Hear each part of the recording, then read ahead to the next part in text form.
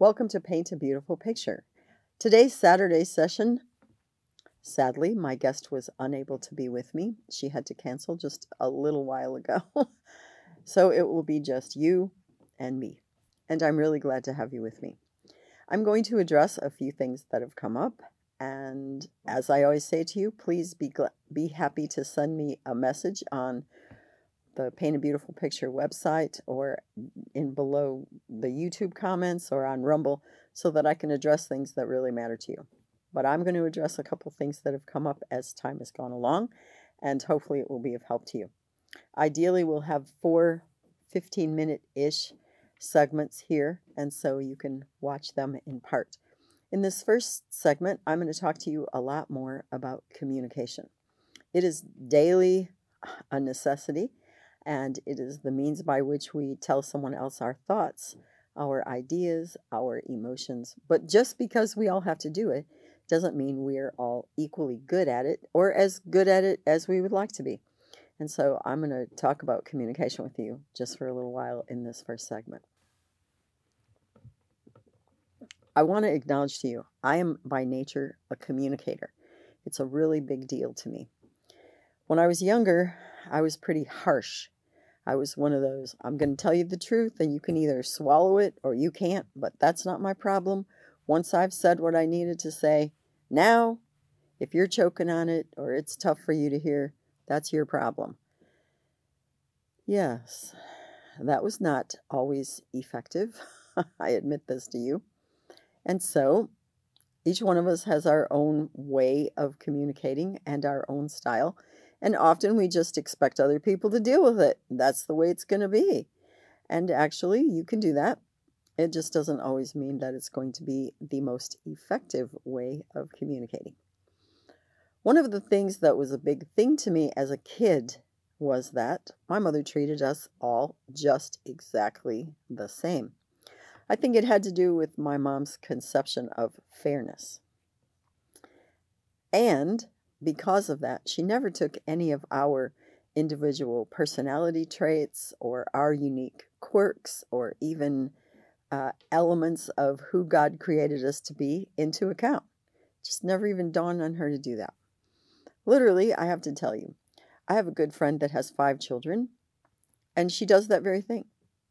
She doesn't look at her kids as individuals. She hasn't gone out of her way to discover the unique things about some of those kids, and she just treats them all the same and acts the same to every one of them. And sometimes it causes real trouble, at least with two of her children that aren't the same and need to be treated somewhat differently. And so you can just do one cookie cutter method of communication your whole life and it might actually work for you. But I'm going to give you a couple of things that might help you to be a better, perhaps more effective communicator not just with your children in your home, but frankly with your greater family, with your friends and neighbors, people at church, and probably, truthfully, even in things related to your business. All right, here we go.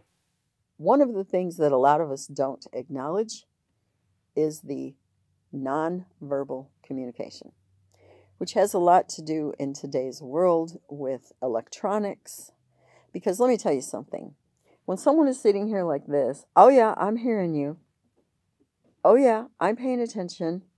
Yes, I got that. I'm sorry. I'm just going to walk away half the time. Why in the world am I going to talk to you when you have zero interest in what I'm trying to say to you? And the answer is, I'm probably not going to. And so, if every time your child comes to you and they want to talk to you and they're really excited, they're like, Daddy, guess what happened to school today? And Mama, guess what happened at my friend's house? And you're, yeah, I, I heard you. Uh, you are literally telling them what you have to say to me is not nearly as important as whatever this is. Whether I'm texting my friend or whether I'm looking at YouTube or Instagram or TikTok, this is more important than you. That's a really strong nonverbal message. Let me show you a couple other ones because I'm just going to show you, okay? I was born with an expressive face. I'm not really a person that was designed to play poker. So let me show you. Your child comes home and he says, Hey, mom, Guess what? Billy said I'm a wanker. And you're like, you just expressed great displeasure in about half of a second, and he got that. Do you have any idea what that means, son? Well, no, not really, but I thought I thought it sounded kind of funny. Yeah, that wasn't a compliment, okay? Well, they already figured that out right away from your facial expression, but it's more difficult when it's about them. Mom, I failed my test today. Oh, my word. How likely is this kid to tell you again when he has a failure or he has a big problem if all he's going to get is anger and disapproval? Uh, not terribly likely, okay? And human beings all look for nonverbal communication. I want to tell you something. If you cannot maintain eye contact with someone, most especially your child, for an extended period of time, this is a communication skill you can work on. And it's called attentive listening. You need to look that person square in the eye. It doesn't mean you can't break eye contact occasionally. That's perfectly okay. But if you're constantly doing this and shifting your eyes all over, and you cannot give that person your undivided attention, that's on you. You have a communication issue. I would like to say to you, especially as a young adult, you know, maybe somewhere between 16 and 25, if you were raised by a parent who was frequently preoccupied with electronics or other things, and who did not sit down and give you their undivided attention, it may be a great challenge for you. This may be a skill you have not yet developed. And I want you to know that's not all on you. But honestly, by the time you're 14, 15, or 16 years old, you are now a young adult and you get to make decisions about how you're going to live, how you're going to act, how you're going to communicate. And one of those things is giving someone the gift of your undivided attention. So learn to look someone in the eye, learn to listen, learn to close your mouth, which is a huge part of communication, and it is a skill you can develop. People who love to talk. Oh my goodness, I have a family full of these, and I would be among them. Sometimes have a really hard time listening.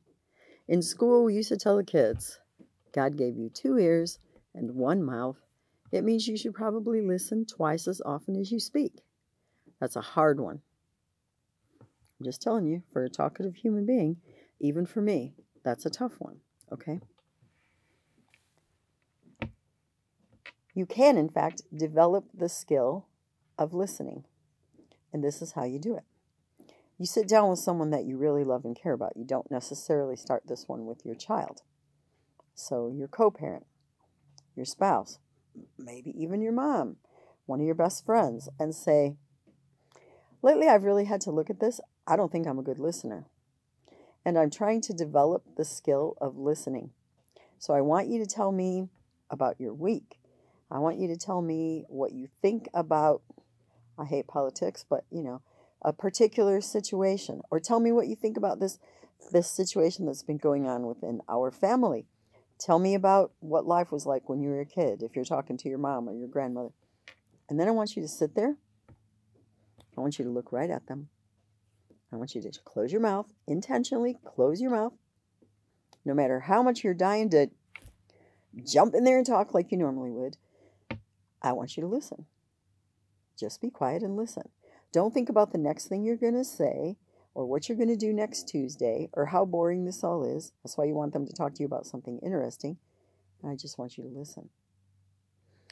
You might not be able to do it for more than three minutes. I kid you not. When I first started learning to actively listen, I don't think I could go more than three to five and really, honestly, just be quiet and listen. It's not an easy skill, but it's a crucial skill. I always use the language that it's a gift because it is. When you honestly love me enough to listen to my heart, that is a gift. Okay, so practice the skill of listening. Then, this is where it goes farther.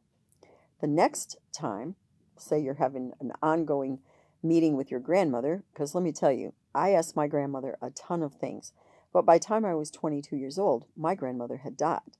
I didn't get to ask her very much. And I was always sad for that.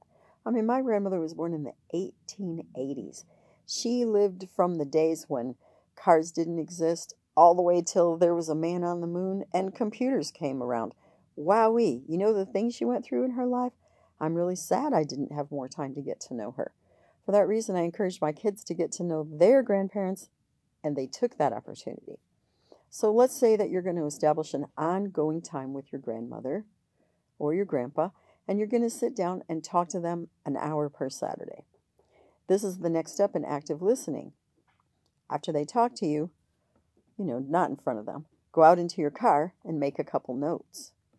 Wow, okay, I'm getting better at this because the first few times you might not be able to say very much, like, okay, I don't hardly remember because my mind was preoccupied. But when you're learning the skill of listening over time, you can start writing notes like, okay, I was I'm doing better at this at really paying attention and really actively listening and getting this information. It's amazing. Within 24 hours, often, we only remember 2 to 6% of what we heard. Hmm, it flies away. We just can't hang on to that much. And that's where, when you do actively listen and you even take notes, more starts to stay with you. Your retention increases. I want you to take that time, especially with your child, so that they know how valued and loved, I mean, how really, really important they are to you. Because active listening demonstrates value to any of us. Then I want you to learn how to speak clearly and accurately. Okay? All of us, me included, trust me, occasionally, as much as I've worked on this, I will still sometimes hear this come out of my mouth. For every one of us, there's going to be a different set of target words. Okay? I had a little kid in my one of my classes, and I'd say, Well, that was pretty stupid. And he'd say, Oh, Miss Newby, stupid is a bad word. I was like, Not really. But okay, at his house it was. You have to determine the things that aren't okay. You know, I don't particularly like this word, but I'm going to say it to you because I'm going to help you know how much I don't really like it. I don't like the word crap. That just, anyway, I, I just, I can't stand that word. So I don't like it. And I don't really like the word dummy. Oh, you're such a dummy. You have to find those target words and perhaps discuss, especially with your mate, where those words hit you emotionally and why you don't really need to hear them or that you'd prefer not to hear them. So you can understand one another in communicating really effectively and meaningfully and without raising up red flags internally. Amazing, even little kids who don't have tons of experience in the world, they have words that just hit them badly. You need to pay attention to your child's nonverbal, or if they're a pretty verbal kid, they'll tell it to you. I don't want you saying that to me. You got to pay attention to that. You don't go around triggering people that you really care about. Like you you learn what they don't like to hear, and you don't need to say it. There are lots of alternative ways of con- con- conversation and of communicating your thoughts without offending somebody. And that's the last place I'm going to leave with you. In communication, you don't have need for offense. Sometimes certain truths are offensive in and of themselves, and I, I just freely acknowledge that to you. And still, there are times you have to say the truth. Honest. To your teenagers, to your boss, sometimes to your good friend. You know, when you did that, that was really lousy, okay? That injured our friendship. It was not acceptable behavior. I'm telling you, I'm not mad at you or furious, but I'm really reevaluating our friendship based on that. Yeah, that can be really offensive, especially if they're proud or kind of stubborn or don't like admitting, or that's just the way I am, they're defensive. Even with your children, sometimes those kinds of offensive things have to be addressed. You may not speak to me in that tone of voice. I don't speak to you like that. You are most assuredly not going to speak to me like that. Yeah, that can be real offensive to a kid. Well, I didn't think that was all that bad. Oh, my word. I've heard some women just go down the road a long way with that piece of line. You're not going to tell me how to talk. You you're right. But you know what? If I'm going to be in relationship with you, then I have every right to say to you, that was not acceptable. I do not appreciate it. And we can even say those things to our kids, and truthfully, sometimes they need to hear them. You also need to learn how to speak good things into someone's life. For those of us who haven't heard a lot of that or haven't had a lot of familiarity with someone who spoke life and goodness over us, those words might be really awkward for us. But we also need to learn how to speak truth, good words, gracious words, generous truth into the lives of those whom we love our mate, our children, and our friends. I hope that broadens some of your understanding and perspective about communication. In this next segment, we're going to discuss something that keeps coming up as I talk to people, and that is about the development of an inner life. It's really fascinating. I go to the public library a lot because of the extent to which I read. And a couple weeks ago, I had a great conversation with one of the librarians and shared about my channel. So maybe a week later, we saw one another, and this librarian expressed to me appreciation and, uh, you know, just a good feeling, a good sense of things from watching the Paint a Beautiful Picture channel. That's a part of developing your inner life.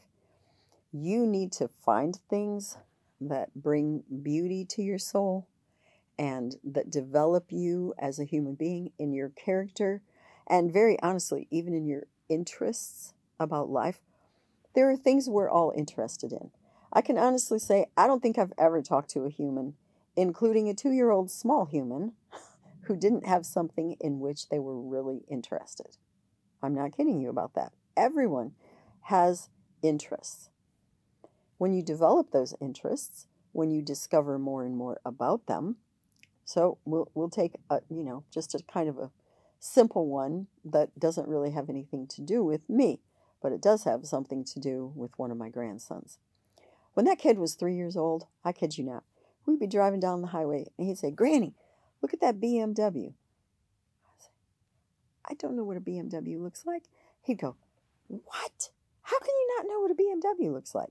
And he would start describing things to me about the body style and parts about the chassis. This was freaking me out. I'm talking to three year old kids telling me this stuff he was vitally interested in cars since forever and ever and ever.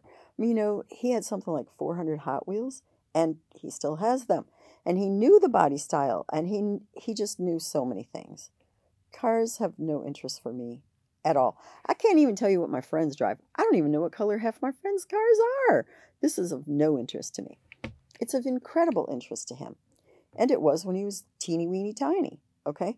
I'm telling you, everyone has interests. And so you take your own interest and you read about it. You watch YouTube about it. Uh, go watch different kinds of races because there are some races you never dreamt of. It isn't all NASCAR, honey. And you watch what people do to cars and what they do to go karts. And oh my lands, there's just so much involved in wheels and going fast. And I told you already, I like to go fast, so I can appreciate that part. Um, and I like good handling, especially on curves because I used to live in the mountains, and frankly, it's just really fun to go fast around a curve. And so you start learning about those interests. How, how low to the ground does a wheelbase need to be in order to give you greater handling? Or how does the distance between two tires affect it? Or the width of a tire? I had a flat tire the other week and I needed a particular size put on, and they didn't have it. So they put on the next bigger size, not significantly. Went from a 185 to a 195. If you're a dude, you might know what I mean. So it was just a little bit wider tire. I was shocked at how much better my car handled. I'm like, why in the world wouldn't I have all four 195s on my car? No joke. I didn't know that until they put that tire on my car and I felt how it's behaving when I'm handling it around a curve. Okay, so something you're really interested in, find out more as I recommended not very long ago, go find someone who's an expert. Let them show you what they know, or talk about what they know, or take you into their workshop, or take you into their mechanic shop, take you into their painting studio, take you into their kitchen. Do something that is of such great interest to you. It increases the value of your inner life.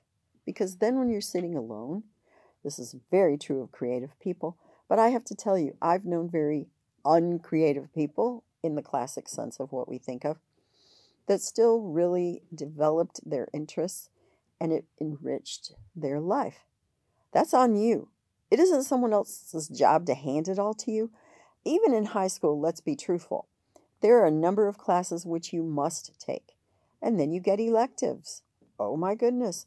You can go marching band. You can sing in the choir. You can take wood shop. Some things are allowed, even as a kid or a young person, to let you develop your interests and enrich your life. That's on you. And most notably, as an adult, it's very, very much on you. I get it. You have to go to work 40 hours a week, and oh my word, you're spending an hour getting ready and driving there, and then you've got to come home. I really get it. I know the details of life. You don't have to explain this to me and tell me how it's sometimes challenging to find time to do what really matters to you. But it's kind of a flimsy excuse. Here's why all of us find time to do what we want to do. Now, I've told you before, I really actually like to play video games. I do, it's not a joke. Sometimes I'll be on my phone and I'll be playing, you know, I won't tell you the games I like, but I'll be playing a game. And two and a half hours go by. And then I'll go, Violet, that was really foolish. Because in that two and a half hours, you could have, for me, you know, made a whole entire doll's head or finished a whole an entire couple of blocks in a granny square blanket. Like, wow, is that really what you wanted to do with two and a half hours? I'm admitting to you very freely that sometimes things get away from us. Our brains are overwhelmed, we're exhausted. This is the easy no brainer part. I know that really well. I get that. But if you have little children, a family, and a job, oh, and a bonus material, a household to take care of, guess what? You have to get purposeful about your time. If you're going to enrich your own life, and it is going to take a certain amount of time, you can't be wasting time, or I guess I'll just use the language spending time on worthless pursuits. That's a, a place for a self assessment for you. Okay, you can ask yourself the question How much time am I wasting in a week? Because one time I did the math and I was really shocked, like tragically appalled because one week it was like 11 hours just goofing around. Now I'm older and I'm single. I don't have to answer to anybody. That's still a lot of hours, no matter how you look at it. Okay? So look at how long you're on that phone playing around on TikTok or Instagram or uh, Pinterest, playing a game. I'm not kidding you. That may be something you have to give up. Because if you're going to have a rich inner life, it's going to take an investment of your time and your energy to make that happen. Notice I've been talking to you a lot about your own self. It's because your children are going to do often, most of the time, what they see you do. If they literally see you take time and money and energy to develop your interests and pursue your passion, they are going to know that it is really very okay. In fact, it is healthy and good to pursue something that you are passionate about. And oh my gracious, there's no problem sometimes by the time they're six, seven, eight, and old enough to behave in taking them with you.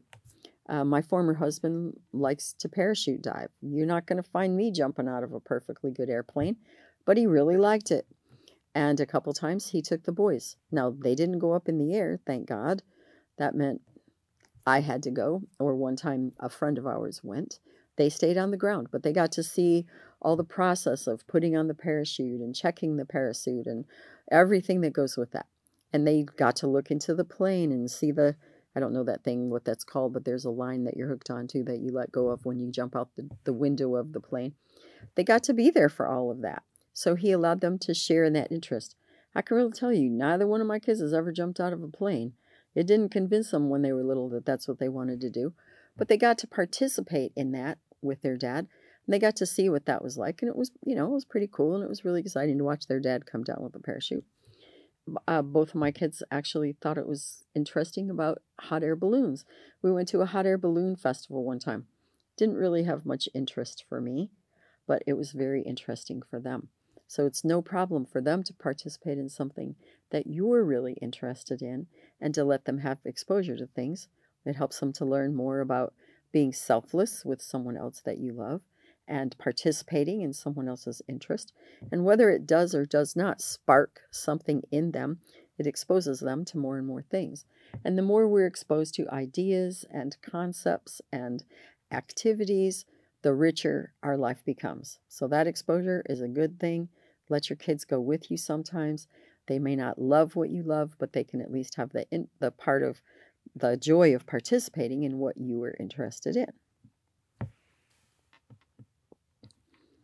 Lastly, I want to tell you this.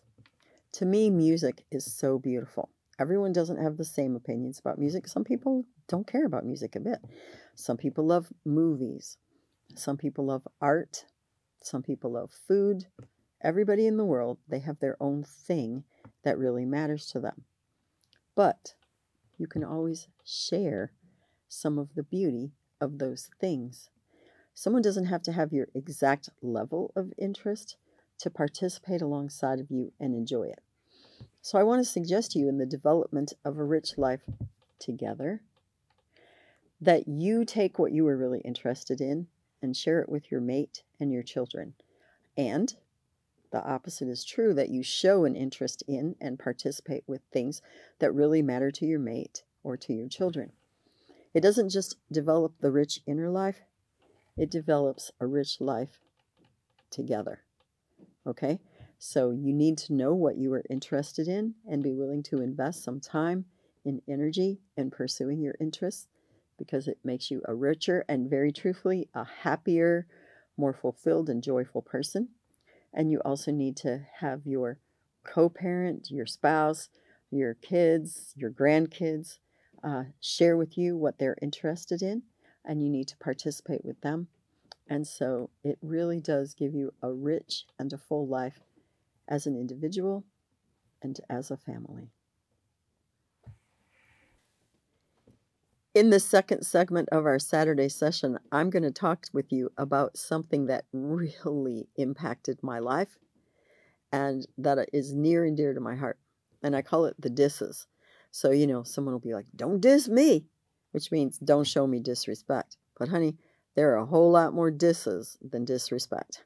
So, we're going to talk about the disses in this 15 minute segment. This is a word I really like disdain. It's kind of like disgust or disapproval. But there's nothing like that look that really lets someone know that you are just over all this, whatever this is. I'm telling you, there are appropriate times to show disgust. The time my kid emptied his diaper and painted with it all over the wall, yeah, that was disgusting. And I guarantee that my face and my language showed it. Even though he was a baby, he didn't know what I was telling him, but I told him multiple times, this is disgusting. Okay.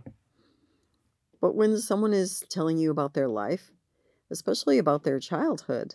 They didn't grow up in a very functional home and they didn't have parents who really loved them and cared for them. Maybe their dad abandoned their whole family and their mom did some things that were kind of questionable to keep them going, and you just get real disgusted and they know that you are. I'm sorry, that's not appropriate. They didn't do that. They were a kid. That was done to them. Okay? Disapproval. Oh, this one can really get me. Do you know what? I don't need your approval. Frankly, just so you know, I'm pretty secure in who I am and what my life is like and what I do and what I know. But a kid, they're not. In fact, teenagers, they got to be some of the most insecure people on the face of the planet. Overall, they don't need tons and tons of disapproval out of you. And very honestly, neither do your friends. Just because your girlfriend wears jeans to church, but you wear a really nice dress, and you think that it's kind of like not cool to show up at church in a pair of jeans, why do you have a great need to express disapproval about that? That's your wardrobe and your preference. That's her wardrobe and her preference. What's the big deal? Oh, and guys, can we get real for a minute?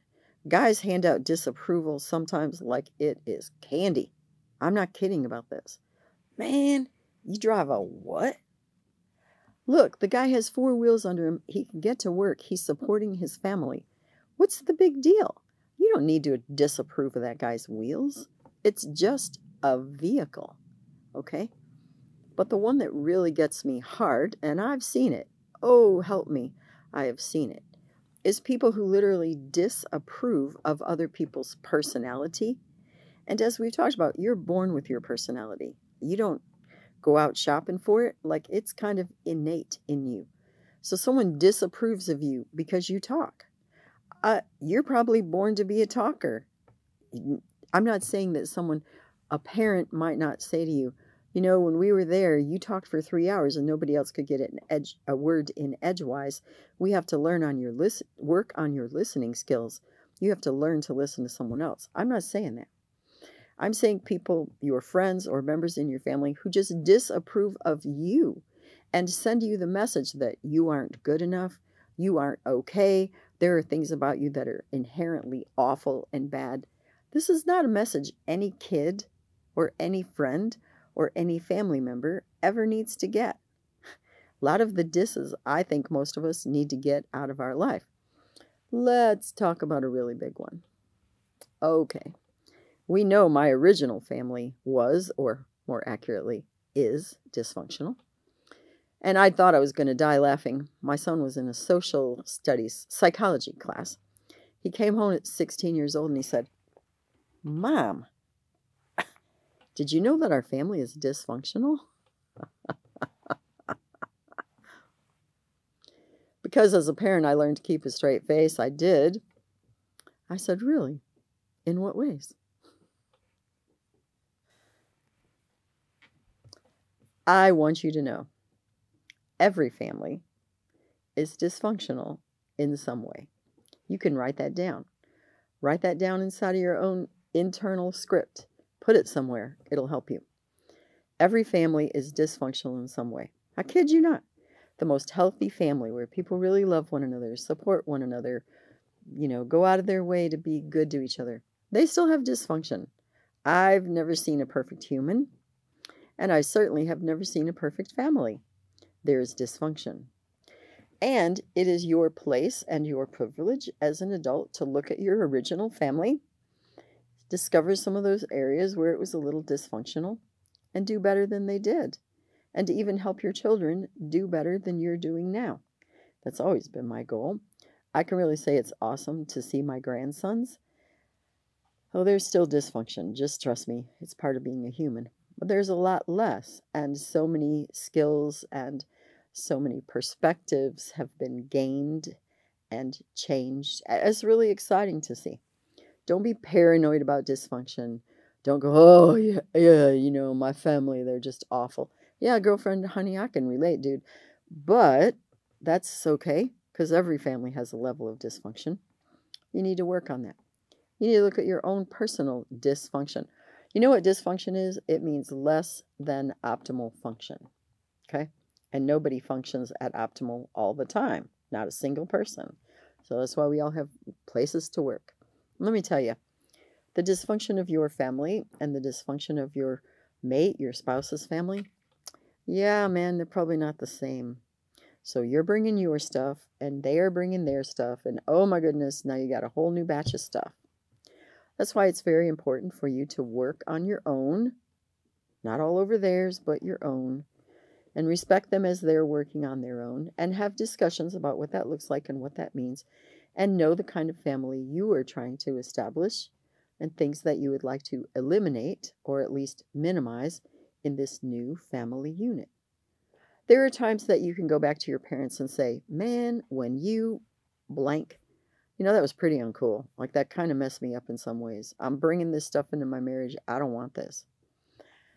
Your parents might get defensive. They might get mad, depending on their level of personal health. They might say, Yeah, I know I did that. That wasn't cool, but at the time it was the best I could do. Okay? One of the things that's great about those kind of discussions is it can bring healing, because often healing is the beginning of change. So, acknowledging that that kind of dysfunction was there and especially if it was done to you or you lived through it as a child. It doesn't have to be your dysfunction, but you still might want to acknowledge it or deal with it respectfully.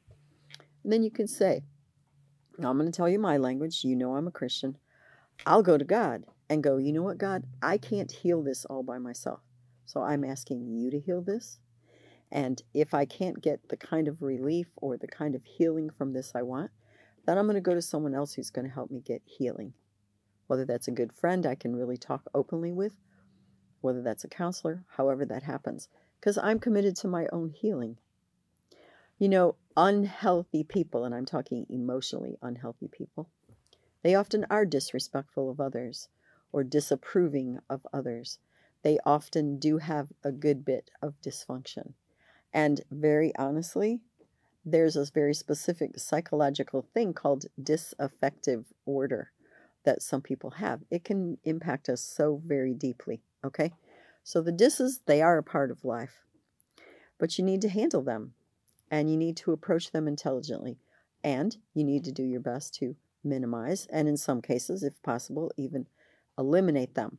The one that needs to be eliminated out of just about everyone's vocabulary is disrespect. Every single breathing person is worthy of respect, all the way from a baby to the oldest human being. I'm going to leave you with this. My dad had horrible dementia. Because of that, there were a lot of ways in which he did not function when he was older, and it had a lot of implications. I have a friend who has a who has a parent who has dementia and there's a lot there that's not the same as when that parent was younger, and it requires a lot of care and a lot of patience. Even that person is worthy of respect.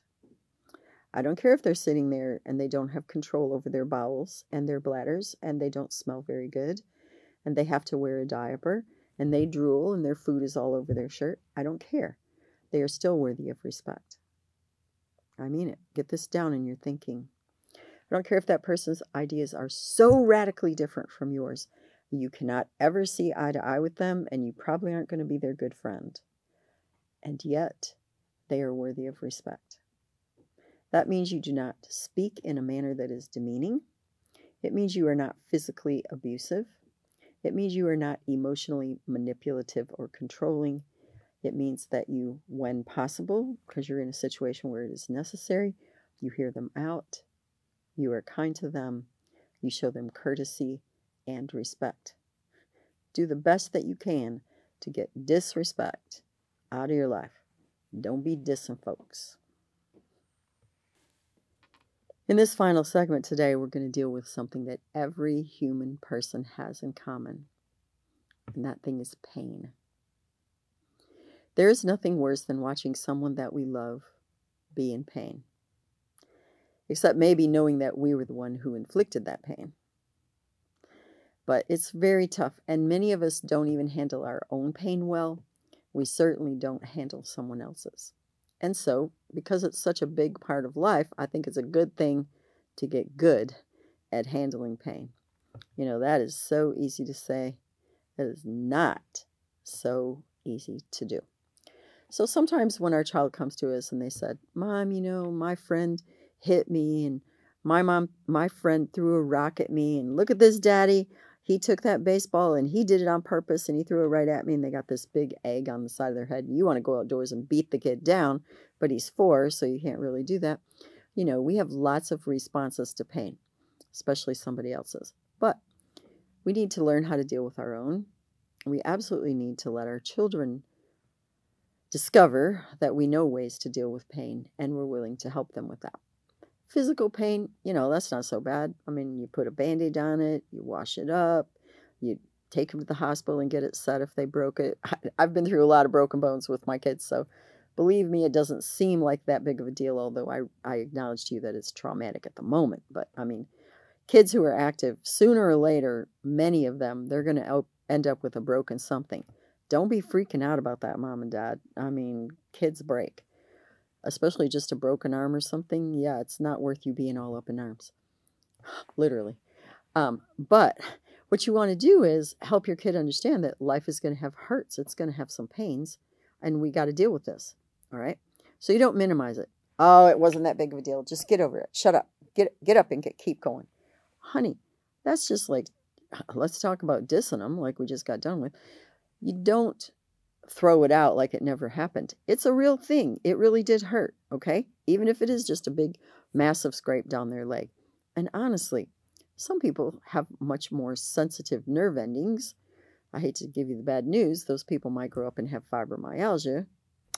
And so things hurt more than the average person. Everyone doesn't have the same response to physical pain, or hot or cold for that matter. And so you have to say to them, I'm really sorry you got hurt. Let's take care of that. Whoa, whole nother attitude, right? Instead of the kid needing to be, you know, he's going to scream and yell for an hour, so maybe you'll care. Or she's going to sob hysterically, like, oh, it's the end of the world, you know? These little drama queen people. Um, if you acknowledge their hurt, yeah, I bet that hurt. Let's take care of that. They learn to put certain hurts into perspective. Now, they have a friend who lies to them, or they have a friend who steals their bike, or they, you know, they go through different kinds of things at different stages of their life, and they're really hurt emotionally. Or their, their friend calls them really bad names, and it really hurts them emotionally and even in their soul. And you need to acknowledge those hurts too.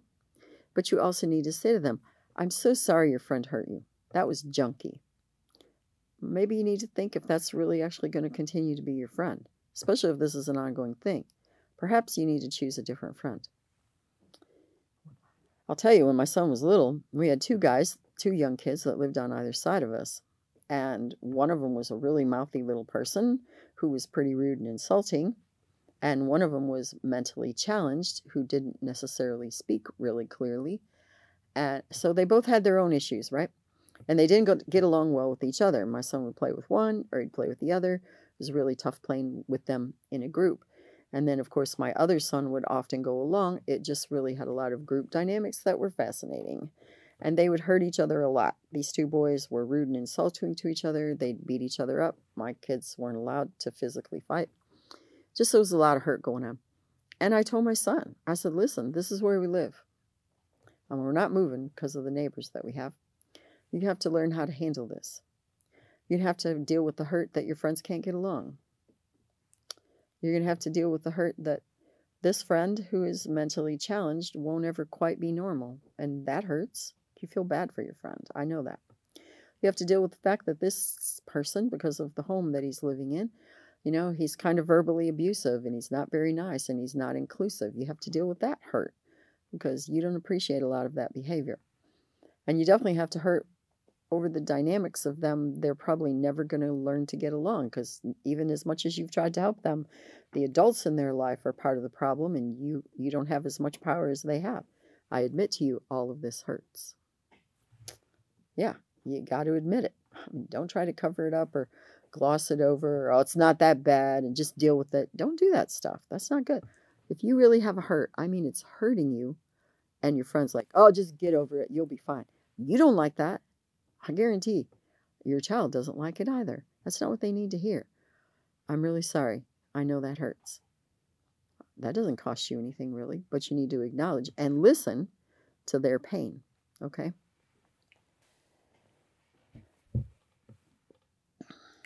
We're going to go to deeper hurts betrayal. All right? I know someone who had a rough patch. They really needed support. And a friend of theirs, at the end of all of this, kind of attacked them, like really laid them out. That was about the last thing they needed. And it really broke the relationship for quite a length of time. It was a very deep and extensive hurt. Didn't help that prior to that, there had been other hurts along the way. And that brings us to an important thing. When you let hurts keep on accumulating, even if one person in there is willing to deal with the hurt, but the other one isn't.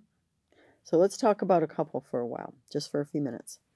You have a husband and a wife, and we'll say the guy is kind of a rough dude, you know, and he works, we'll say he works construction or he drives a truck. He's around guys all the time, comes home and opens a cool one, and he doesn't think anything about talking the way he's going to talk to his wife or his kids the same way he talks to all these guys on the job. And she's a lady She's not one of these guys on the job. And those are tender-hearted little kids. They're not like the guys on the job. And they just keep sustaining emotional hurt from his insults or his rudeness over a long period of time. And she goes to him and she'll say, Honey, That was really not good. Or let's say she's not quite that healthy and she's like, You are not going to talk to me like that. I'm not really sure who you think you're talking to, but that's not okay. And I do not like the way you just talk to the kids. You need to get out of the house. Just go on if you can't act right. Yes, we all re- react to hurt in various ways. But if you let it accumulate and you don't deal with it and you just keep swallowing it and swallowing it, oh, it's going to come back. Because let me tell you, hurt grows. The hard thing is, in the mind or spirit of the person who did the wrong, it diminishes. And in the mind or spirit of the person against whom it was done, it grows. So when you don't deal with things, this person just gets more and more calloused, and this person gets more and more hurt. And over time, hurt often grows into, well, two strong things and one not so strong thing. One is anger. Oftentimes, you find a really angry person. Somewhere buried in all, of there is pain. Just so you know that. And it can certainly turn into bitterness. So you meet someone and they've been married 20 years, and it's like, yeah, I'm staying with this guy because I told him I was going to do it, and I'm not going to leave for the sake of the kids. But we don't have sex anymore, and we don't do anything anymore. I don't really care if he ever looks at me again. Oh, there's a bitter person. and then disillusionment. That person gives up. Like, it's never going to be different. I mean, it can literally go all the way into depression, but it starts off with being really disillusioned. Like, I didn't think this was what a marriage was going to be like. I didn't think this was what a home was going to be like. I didn't think this was the way my dad was going to treat me. So you have to deal with hurt. And that might re- involve confrontation if someone can handle it. Frankly, sometimes you just have to confront it, even if they can't handle it. You got to get it off your chest. When you talk to me like that, that really hurts me. You can talk to the guys like that, but oh my word, I'm a woman and I have the heart of a woman. That's why you wanted to marry a woman. And I need you not to talk to me like that, please. It's so hurtful. Really, some guys will be like, wow, baby, I didn't know. I'm sorry. Some guys will be like, man, I don't know what's wrong with you. Just get over it. Go talk to your mama. I've heard so many various kinds of responses. But listen, just because the other person who hurt you doesn't deal with it well, you can. I'm not kidding you. And it is not easy. I want you to know that. Forgiveness is not the easiest skill in the book for me. Yeah, I wish I could tell you I was great at it, but I'd be a liar because I am not good at it, okay?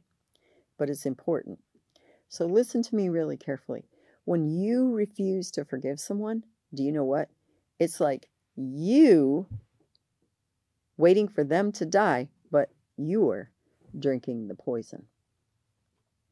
That's where bitterness comes from, from that repetitive hurt and a forgiveness to or a refusal to forgive it. So listen, forgiveness doesn't take two people. I'm going to prove it to you in about 1 minute flat.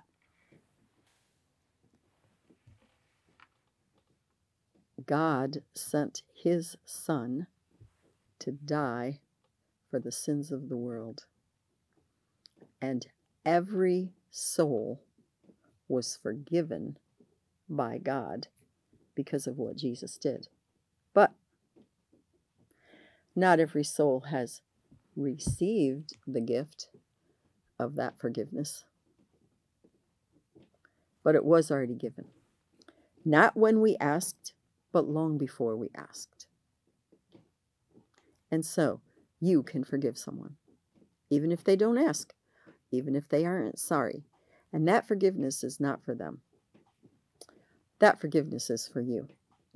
So you literally can go inside of your very own heart and say, What you did, it really did hurt me. Don't minimize it. Don't try to cover it up. No, no. What you did, it really did hurt me. It hurt me badly, terribly, horribly. You can cry as many tears as you need to. And yet, I am not going to go through my life bitter and nasty and angry. I'm going to let this go and set it down and forgive it. If necessary, write it down tear that paper up in little pieces and burn it up. And as that ash goes, let that go out of your heart. Yeah, you can forgive without them ever being sorry or without them ever acknowledging or asking for you to deal with it with them. You can deal with it by your own self. The great advantage of getting good at dealing with hurt is you can help your child and you can even help other people. You know, I got to tell you, it is a great feeling to participate in someone else's healing. It really is. It's very, it's just a really good thing. It's very fulfilling to see someone who's locked down and bitter and who really has had a great deal of pain and see them find some release and some freedom. It's an amazing thing. And so I want to invite you to start getting good at dealing with both your own pain and hurt and those of your children. It's been great having you with me today on this Saturday session of Paint a Beautiful Picture. Please send me questions or comments. Let me know your thoughts. It would be great to hear from you. It will be good to see you again soon. You may find additional information on our paintabeautifulpicture.com website. Additionally, you may watch me on Rumble, and you may also listen to a podcast on Buzzsprout or Spreaker, all under the name Paint a Beautiful Picture. If you like this video, please give me a thumbs up. You may subscribe, and if you are interested in receiving notifications, please hit the notifications button.